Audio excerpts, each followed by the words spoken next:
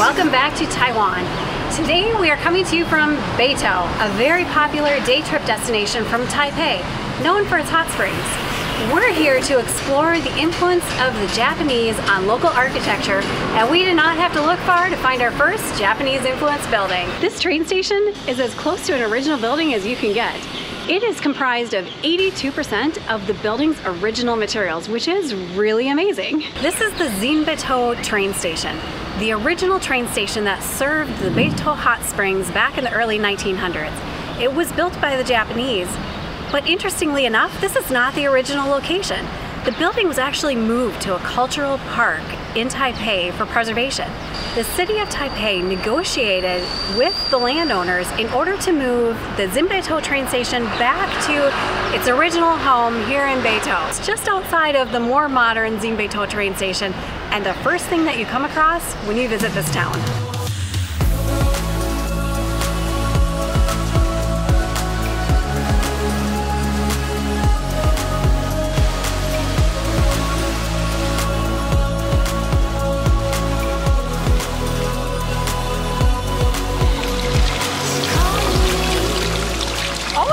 Silky feeling.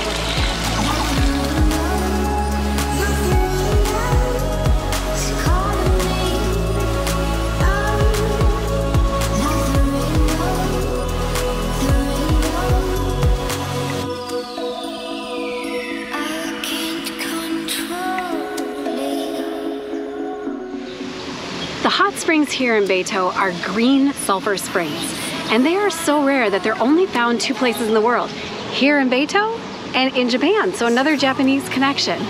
Can you just imagine how excited the Japanese were when they discovered that incredibly rare hot springs were located here in Taiwan? No wonder they developed this area to be such a resort experience. To be honest, I kind of thought it would smell a little bit more like rotten eggs, but it barely smells. Maybe we're here on a day where there's enough of a breeze that it takes the smell away. it's beautiful.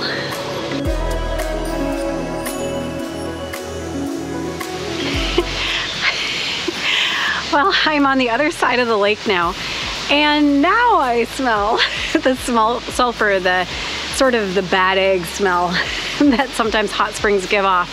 It's kind of fun to be standing here with the mist kind of washing over me though. Uh, the hot springs really have curative properties and I'm wondering if the mist also has that or if you have to be soaked in the water. I don't actually know. It's really kind of warm too. It's nice. I like it. We are on our way to the next destination and we're taking a shortcut. The shortcut seems to involve like a hundred stairs, so maybe we should have just gone the long way around. Scream. There's so much of this hot spring water. It's just going everywhere in this town. In the gutters, as you walk above them, you get warmed up. it's just running beneath our feet everywhere.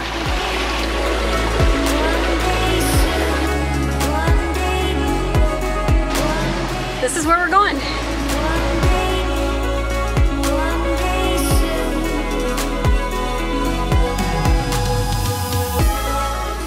After a long and lovely walk up a hill, we have reached the Beitou Museum. This museum was actually a hotel and it was created and run by a Japanese family, so the architecture is incredibly Japanese. In fact, this is where a lot of kamikaze pilots would spend their last night. So it has a little bit of a somber background, I guess you could say, but it still looks beautiful. Let's go take a look inside. All right.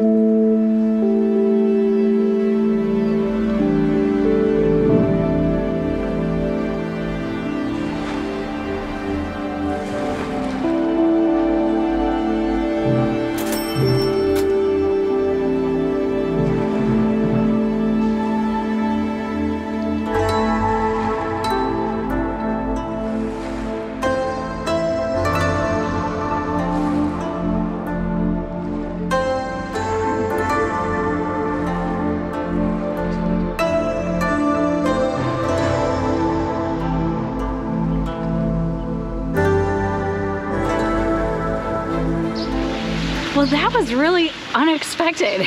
They had the kitchen closed down so we weren't able to eat there for lunch, but instead we got a preview of a musical performance for some VIP thing happening later on.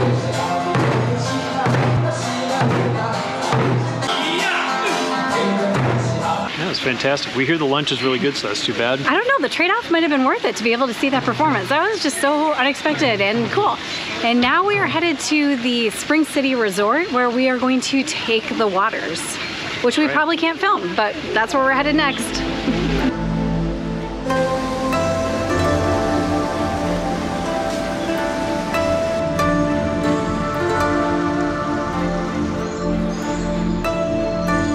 Well, that was a fantastic Japanese lunch. We didn't know what we were going to order. We just pointed at things on a menu, and lo and behold, I ended up with chicken nuggets. but they were delicious. They were so tender and juicy, and I loved them. It was a fantastic lunch. And then we went to the spa. We went to the spa. Uh, we're not able to show very much because cameras aren't allowed, but it was pretty good. Uh, they make you wear swim caps and uh, we had these kind of strange robes we had to wear, we think they're strange anyway, but yeah, it was kind of fun, very relaxing. So the rest of the video is gonna go a lot more slowly. No, I'm just kidding. we still have a lot that we need to do before things close. We spent a little bit longer here than we expected, so that's what we're headed to next. And maybe to hydrate. Definitely.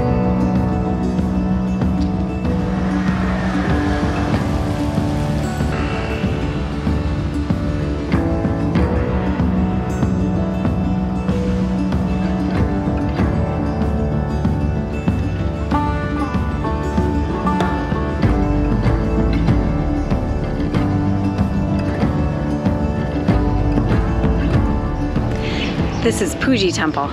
This temple is really unique in Taiwan and since this is a Japanese influence video you might have guessed that this temple is a Japanese temple. Puji Temple actually is over 100 years old and is one of the few remaining Japanese Buddhist temples here in Taiwan. And it's a Shingon sect of Buddhism. This is so fascinating to us because it's the Shingon sect of Buddhism, which we first encountered back in Koyasan in Japan. So to run into it here in Taiwan is really unexpected and kind of cool. So I don't know, more Japanese influence in Taiwan. Really neat. It is so interesting to find so many Japanese influences here in Taiwan. We know that there's this period of time back in the early 1900s that lasted for about 50 years, commonly referred to as the Japanese colonial era. Japan really focused on expanding the infrastructure of Taiwan, and that created a lot of the rail system that you see today, and that's how, how Beitou became really popular. Prior to the Japanese colonial era, there wasn't really a great way to get to Beitou. Once Japan developed the rail system, then people were able to make it here much more easily. And I'm really glad that they did because the architecture here is so beautiful and unique and very different from what we've seen in Taipei so far.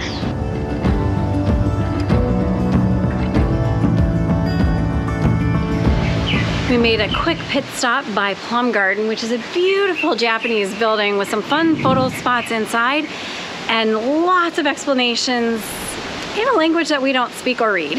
but it still was a lot of fun to stop by there and take some photos and kind of goof around for a little bit. This is a little weird. And just admire the building, which is beautiful. In case you thought all of the buildings here in Beitou are Japanese, I can assure you they're not. This is a beautiful museum behind us that unfortunately we ran out of time for. We passed by this building this morning on our way to the Thermal Valley and we weren't able to stop, but we're back now and it's beautiful. This incredible three-story building is actually a library. I love libraries when we travel because they always manage to make them such unique buildings. This one is even more unique than many of the ones that we've seen. It is completely designed to be green. It has solar panels on the roof, it has a rainwater capture system that's used in the bathrooms inside and to water the gardens. This library has won a ton of awards for being one of the first buildings here in Taiwan to have a very high level of green certification. Not only is it incredibly eco-friendly, but it's beautiful to look at. Well done. Well done, Taiwan. We like your library.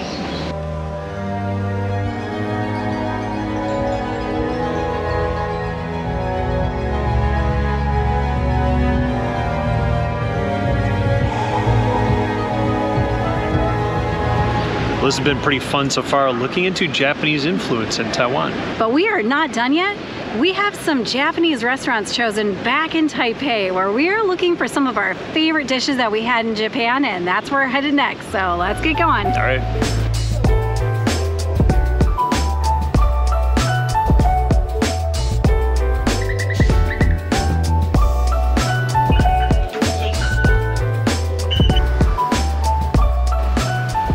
Are back in Taipei and we are headed to our first Japanese restaurant. We're planning to go to two, we'll see if it happens because our first choice is an okonomiyaki place, which is really filling, but we're super excited because we really enjoyed this in Japan and that's where we're headed to now.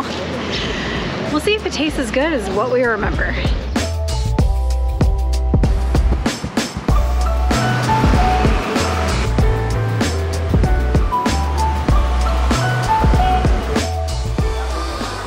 So we're here and you might notice this is not okonomiyaki. They had a huge line and we're actually gonna go back there later. So until then, we're gonna try takoyaki. What is takoyaki? Well, it's a Japanese specialty that's got octopus in it with some batter and some different sauces and toppings. We got some with bonito flakes and then some with green onions. We're gonna give them both a try. See if they're like what we remember from Japan. Let it cool a little bit here. It looks great. It's a little bit charred on the outside, and if it's good, it's nice and soft on the inside. Mm. Octopus is nice and fresh. It's got a nice sweet sauce on it. We had some really good takoyaki in Osaka, and if you haven't watched that video yet, click the link. But this is pretty much what I remember. It's delicious. Historic level. Yep.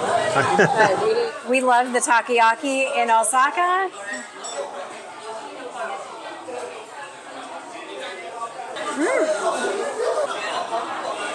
That is not bad. The tastes are just a little bit different, but the texture is perfect. It's really good.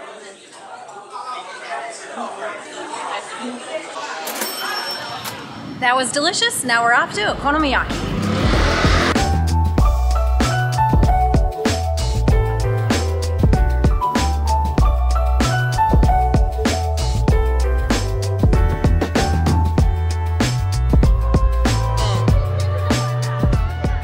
Final stop of the day was Okonomiyaki, where we were seated right in front of the chefs and it was really loud because there was lots of chopping going on. We discovered when we were in Japan that we loved Hiroshima style okonomiyaki, which is made with noodles instead of an egg batter. And we were in luck because they have one of those places right here in Taipei.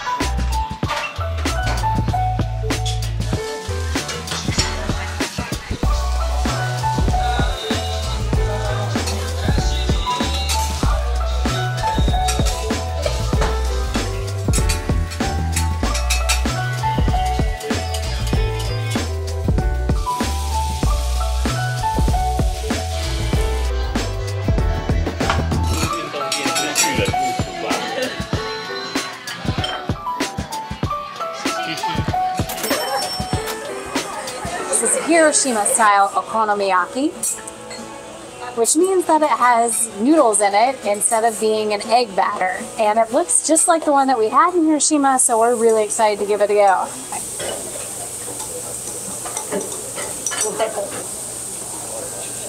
Is really similar to the one that we had in Hiroshima. The flavors are just a little bit different, but again, the textures are perfect, just like what we had when we were in Japan. This was the perfect end for understanding a little bit more about how the Japanese influenced culture here in Taiwan still today. And now I'm stuffed and I'm gonna roll myself home. See you in the next video. Thanks for watching. Bye.